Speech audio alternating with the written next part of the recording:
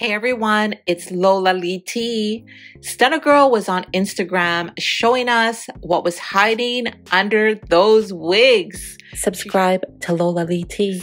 She showed off her beautiful natural hair. Wow, her hair is absolutely gorgeous.